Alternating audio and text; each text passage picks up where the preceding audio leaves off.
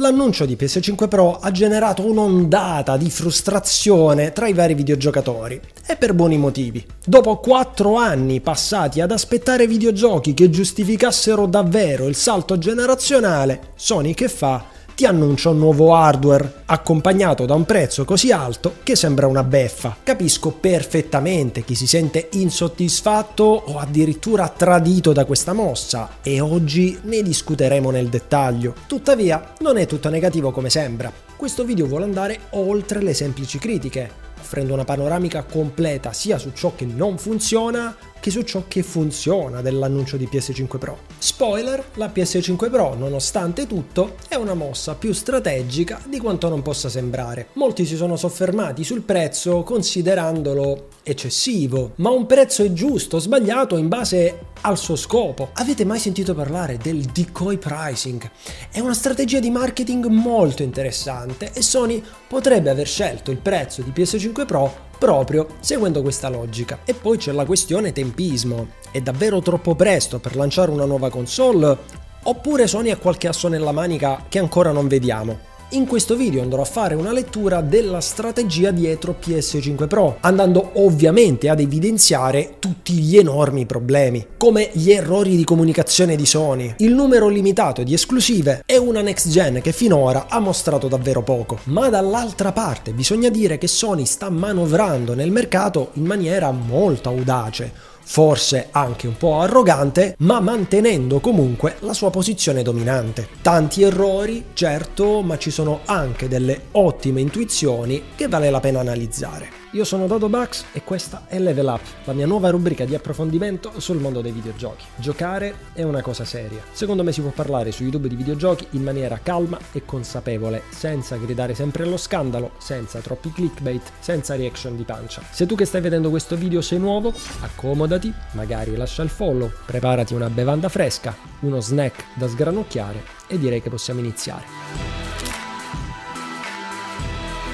Partiamo dal problema più evidente legato al lancio di PS5 Pro, che, contrariamente a quanto in parecchi sostengono, non è tanto il prezzo, argomento sulla bocca di tutti, quanto più che altro i videogiochi o per essere più precisi, la mancanza di giochi in esclusiva che giustificano l'acquisto di una nuova console. Durante la presentazione ufficiale della PS5 Pro, Mark Cerny ha deciso di mostrare titoli che sorprendentemente erano già stati rilasciati per PlayStation 4. E questo è l'emblema di un problema che non si limita alla PS5 Pro, ma coinvolge tutta la lineup PS5. La scarsità di giochi in esclusiva pensati specificatamente per la next gen. Se osserviamo la situazione con attenzione e togliamo i vari titoli che sono usciti anche su PS4 come The Last of Us Parte 2, Horizon Forbidden West, God of War Ragnarok, Spider-Man Miles Morales e andiamo a togliere i vari remake, quindi The Last of Us Parte 1, Until Dawn e Demon Souls, ci rendiamo conto che la line-up di videogiochi esclusivi di PS5 si sorregge su un pugno di titoli. Oltre a questi dobbiamo considerare anche le esclusive rilasciate da terze parti, come per esempio Final Fantasy XVI. A tal proposito vi ricordo che è uscito in questi giorni per PC, quindi qualora siete interessati ad una chiave di gioco a prezzo scontato, la trovate in descrizione. Per quanto questi giochi siano di qualità indubbia, non offrono però comunque quel motore propulsivo che ti spinge ad andare direttamente in negozio e comprare immediatamente la PS5. Sono giochi solidi e ben fatti, però ancora a PS5 manca quella sensazione di must have che invece la PS4 aveva a 4 anni dal suo lancio.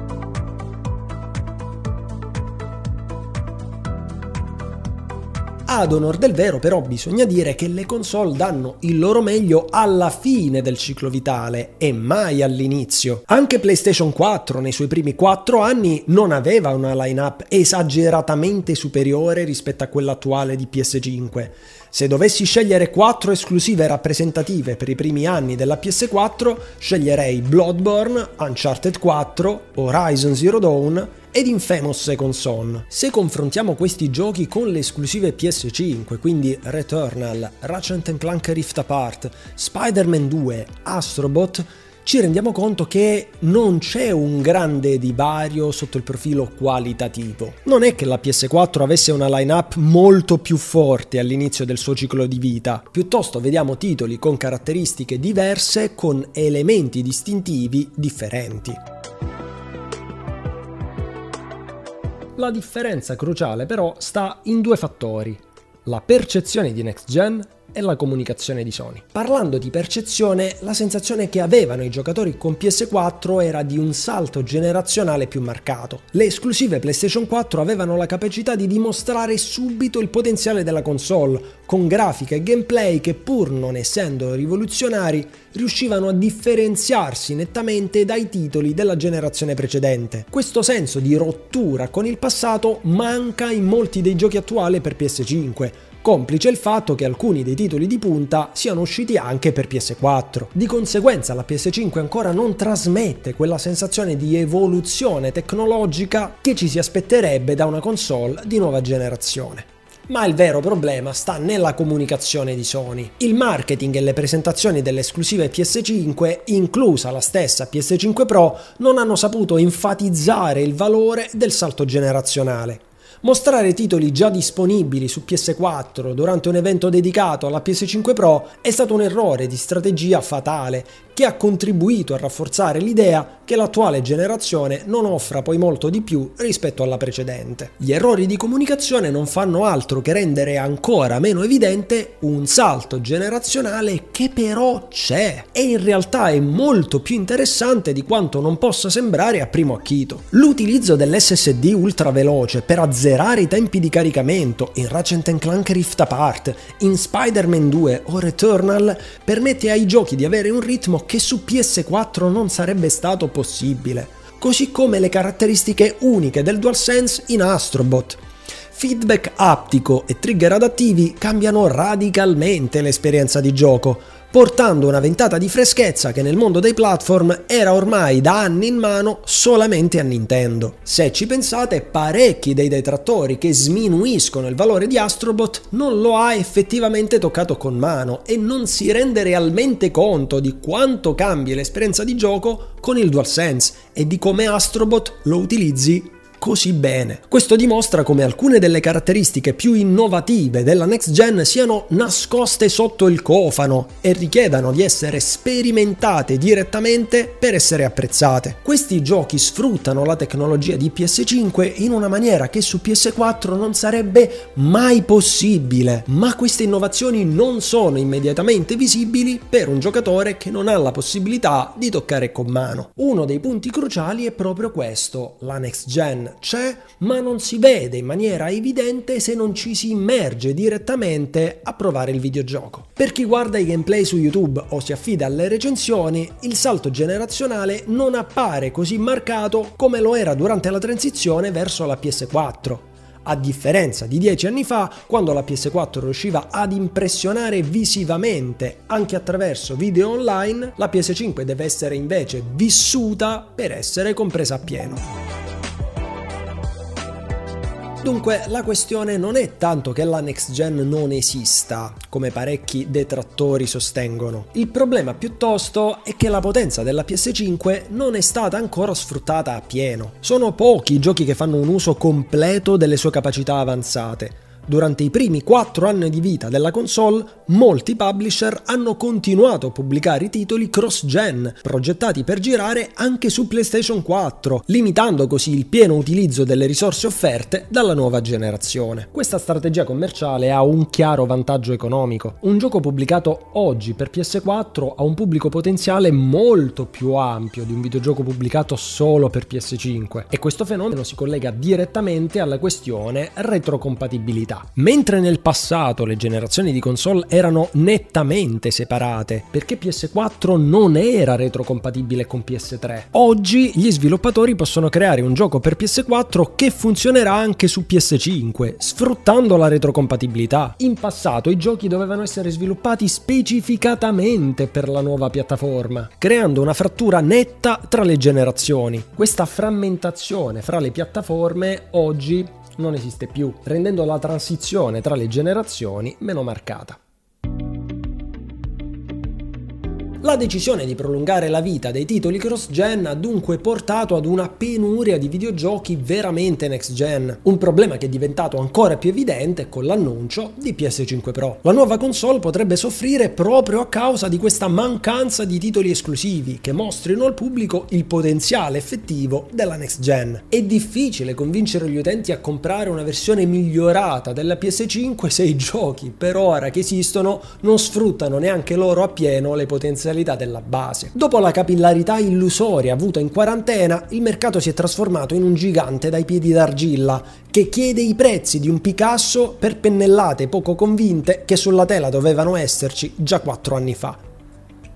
In sintesi, la mancanza di giochi realmente next gen non dipende da un fallimento della tecnologia o della console in senso stretto, ma piuttosto una serie di scelte economiche e strategiche che hanno frenato il pieno sfruttamento delle potenzialità della PS5. Le tecnologie innovative ci sono, ma sono utilizzate solo in parte. La speranza è che con il tempo vedremo sempre più titoli che finalmente sapranno sfruttare appieno tutto ciò che la nuova generazione ha da offrire Solo allora la PS5 potrà esprimere il suo vero potenziale, facendo finalmente quel salto evolutivo che, almeno per ora, sembra abbastanza nascosto.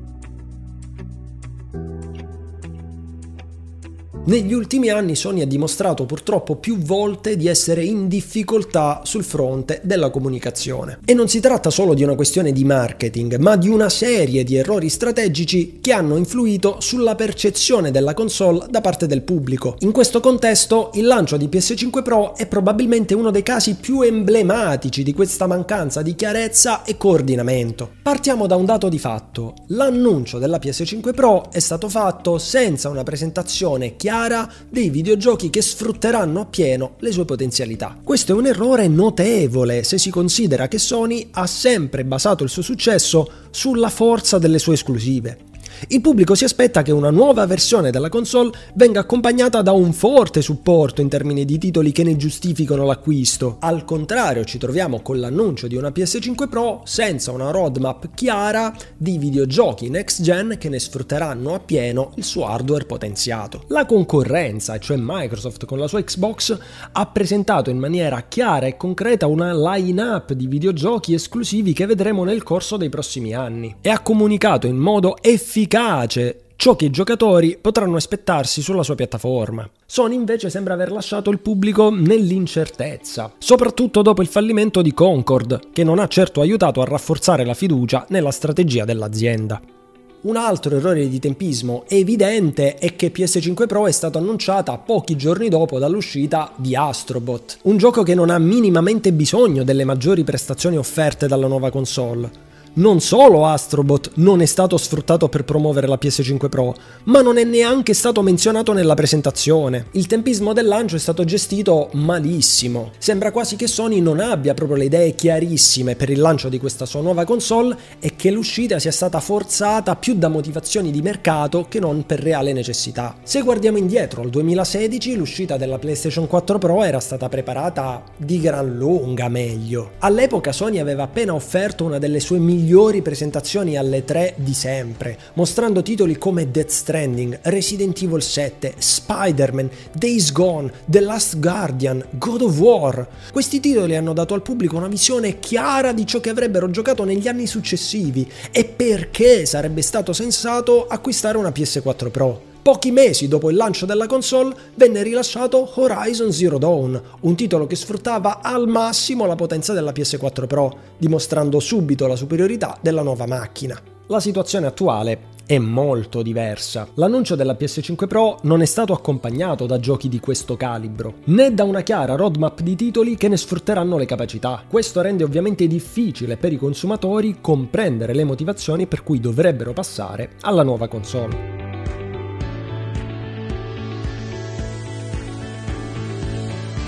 La presentazione della PS5 Pro si è focalizzata su tre principali caratteristiche. La prima, e forse la più evidente, è l'aumento della potenza grafica. Sony ha aumentato notevolmente le unità di calcolo, passando da 36 a 60.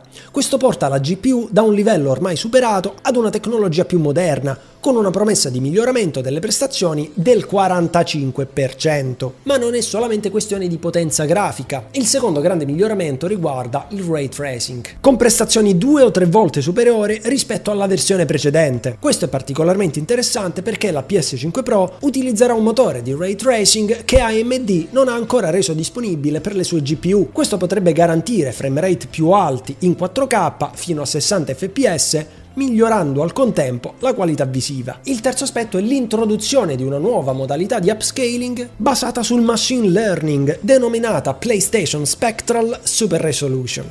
Sony non ha rivelato molti dettagli, ma sembra che questa tecnologia funzioni in modo simile al DLSS di Nvidia. Tuttavia, sebbene Sony abbia chiamato questa una presentazione tecnica, è stata abbastanza deludente e striminzita in questi suoi 10 minuti rispetto a quella molto corposa del 2020. È durata meno di 10 minuti e includeva filmati di titoli piuttosto vecchi. Sembra quasi che il messaggio principale sia che i possessori di PS5 Pro non dovranno più scegliere tra modalità risoluzione e modalità prestazioni. Tuttavia, nonostante queste migliorie, ci sono delle criticità che non possono essere ignorate. Un punto cruciale riguarda la CPU, che su PS5 Pro sarà la stessa di PS5 base. Sebbene si tratti di una CPU di alto livello, questo elemento mette in dubbio la promessa dei 60 fps in modalità fedeltà. I giochi Grand Theft Auto hanno sempre seguito simulazioni complesse che mettono a dura prova la CPU, motivo per cui ogni gioco GTA è stato inizialmente lanciato sulle piattaforme di destinazione a 30 fps. La PS5 Pro usa la stessa CPU della PS5 e sarebbe estremamente difficile raggiungere 60 fps se la versione base della PS5 punta a 30. Questo non è un problema di GPU, è un problema di CPU.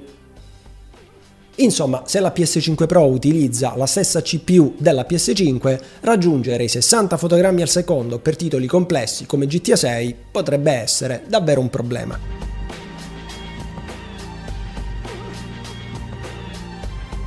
La PS5 Pro arriverà in Europa al prezzo di 799 euro, un prezzo che già di per sé ha sollevato diverse perplessità. Per giunta questo non è neanche il costo finale per chi vuole sfruttare appieno la console, perché bisogna aggiungere infatti 29 euro per lo stand verticale e altri 119 euro per il lettore disco, per un totale di circa 950 euro. Una bella botta. La domanda che in molti si stanno ponendo è semplice. Che cosa ha spinto Sony a scegliere questo prezzo così elevato? Le console hanno sempre avuto il vantaggio di essere più accessibili rispetto al PC, almeno in termini di costo iniziale. Certo, nel lungo termine un PC può rivelarsi più conveniente per vari motivi, ma il vantaggio delle console risiede nell'investimento iniziale, generalmente inferiore rispetto a quello necessario per costruire un PC da gaming di alto livello.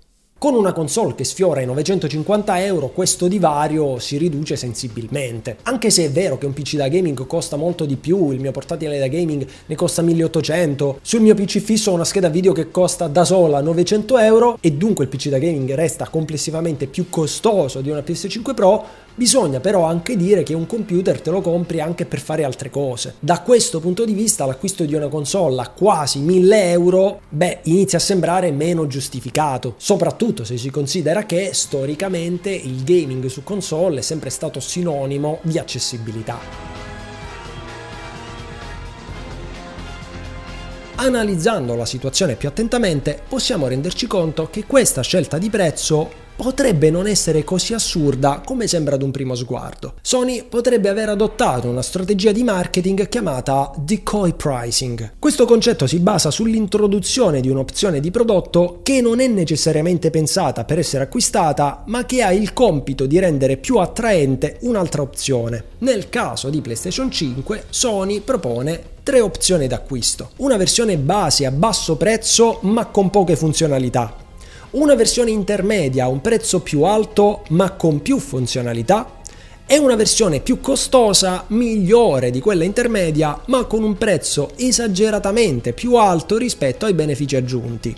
Ebbene, la versione più costosa fa da esca ed è inserita proprio per far sembrare la versione intermedia un affare spingendo i consumatori a preferire quest'ultima. E questo vale non solo per noi europei, che pagheremo la console 799 euro, ma anche per gli Stati Uniti, che pagheranno invece 699 dollari, quindi un prezzo più vicino a quello di PS5 base, ma abbastanza distante da mantenere il concetto del decoy pricing.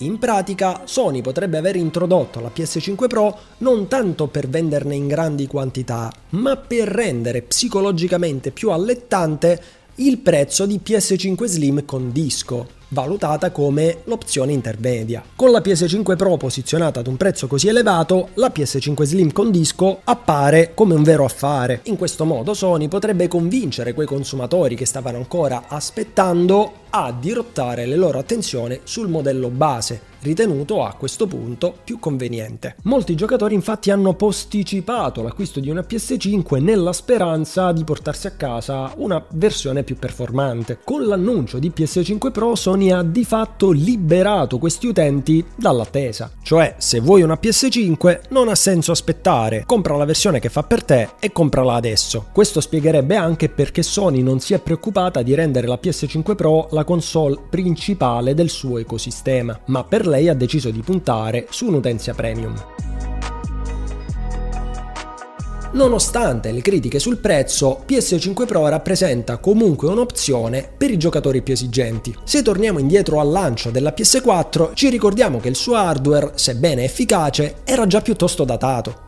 La PS4 Pro è stata lanciata per rispondere ad una necessità concreta, la crescente domanda per il supporto al 4K, in un periodo in cui la PS4 base faticava su risoluzioni superiore ai 1080p.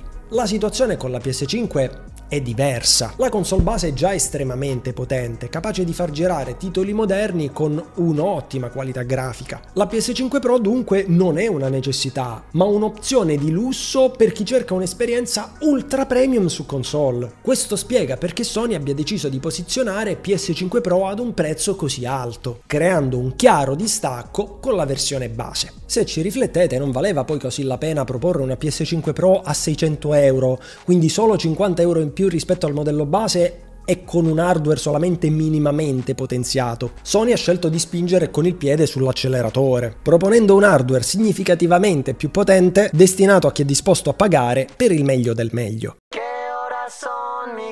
Se analizziamo la storia delle console PlayStation, possiamo constatare che la PS3 al lancio era la più costosa in termini di prezzo regolato per l'inflazione la PS3 veniva offerta in due versioni, una con 60 GB di hard disk e una con 20, ma le altre componenti erano identiche. In confronto la PS5 Pro offre un sensibile miglioramento rispetto alla base, non è solamente la memoria aumentata 2 TB anziché 1, ma anche tutte le altre specifiche sono nettamente migliori. Inoltre è fondamentale sottolineare che la PS5 Pro rappresenta un'opzione totalmente facoltativa. Non ci saranno videogiochi che gireranno solo su PS5 Pro e non su PS5 base. Tutti i titoli futuri continueranno comunque ad essere compatibili con entrambe le versioni, il che significa che l'acquisto della Pro non è affatto obbligatorio. Anche se sono deluso dal costo e vorrei che il gaming fosse accessibile a tutti, non credo che dovremmo essere così scioccati e con la grave mancanza di concorrenza penso che questo fosse in qualche modo inevitabile. Un altro fattore che gioca a favore di Sony è il suo dominio nel mercato delle console. Secondo le analisi, la PlayStation 5 sta superando Xbox Series S ed X con un rapporto di vendite di circa 2 a 1. Questo divario si sta addirittura ampliando, con PS5 che ha venduto oltre 59 milioni di unità, mentre Xbox Series S ed X si fermano attorno ai 29 milioni. Questo significa che Sony non ha una concorrenza diretta particolarmente forte, il che le permette di mantenere mantenere i prezzi alti senza perdere quote di mercato significative. La mancanza di concorrenza significa che è più facile per Sony decidere di puntare su un prezzo più alto per proteggere i suoi margini esistenti. Per la maggior parte dei potenziali consumatori di PS5 l'edizione standard rappresenterà il miglior rapporto qualità-prezzo. In ultima istanza è bene sottolineare che la PS4 Pro ha rappresentato solamente il 12% delle intere vendite della PS4 durante il suo intero ciclo vitale, è quindi probabile che la PS5 Pro segua lo stesso andamento, con una percentuale di adozione relativamente simile. In definitiva il prezzo elevato di PS5 Pro è parte di una strategia più complessa, che va oltre il semplice costo hardware. Sony sta giocando su due diversi fronti, da un lato spinge i consumatori verso la PS5 Slim, dall'altra offre un'opzione di lusso per i giocatori più esigenti. La PS5 Pro è un prodotto di nicchia, destinato a chi vuole il massimo, ma il vero obiettivo di Sony sembra essere quello di continuare a dominare il mercato con la sua versione standard, mantenendo al contempo margini di guadagno elevati grazie a PS5 Pro.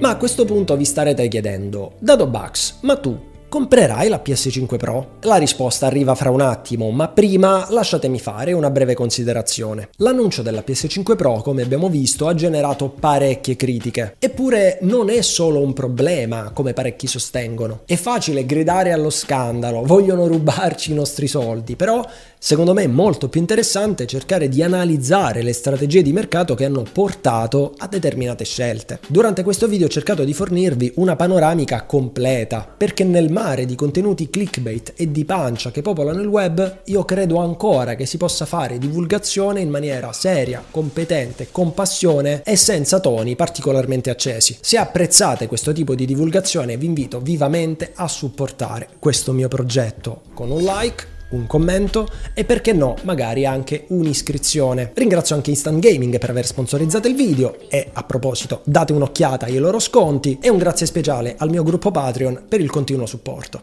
Ora arriviamo al dunque. Acquisterò la PS5 Pro?